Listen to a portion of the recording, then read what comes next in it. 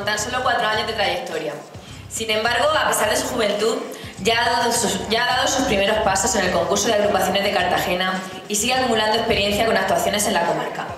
Sus componentes, mezcla de distintas generaciones, comparten toda la ilusión por seguir creciendo en lo que es su pasión, la chirigota. Y por eso no dejan de organizar eventos, ensayar sus actuaciones y pensar cosas nuevas para años próximos. Lejos quedan ya aquellos presos de, de Guantánamo o los carabatuns, aunque hace de ello cuatro días, con letras de autores de los propios componentes. También recordaréis las graciosas letras de los calzonazos, que se interpretaron en el año 2013. Este año 2014 ha sido el primero en contar con el compositor gaditano Moisés Gomar, para la elaboración del repertorio con el que representaron a la ciudad de Caravaca en el decimosegundo certamen regional de chirigotas, celebrado el pasado mes de febrero, de febrero en el auditorio El Batel de Cartagena, obteniendo una gran experiencia personal. Junto con el mencionado autor, ya están inmersos en su nuevo proyecto para 2015. Hoy interpretarán a los periodistas y colaboradores de estos programas televisivos que casi nadie ve, pero de los que todos comentamos a diario. Sin más dilación, deseando comenzar su programa, sintonizamos el canal de la Chirigota de Caravaca. Señoras y señores, demos un fuerte aplauso a los que padecen del corazón.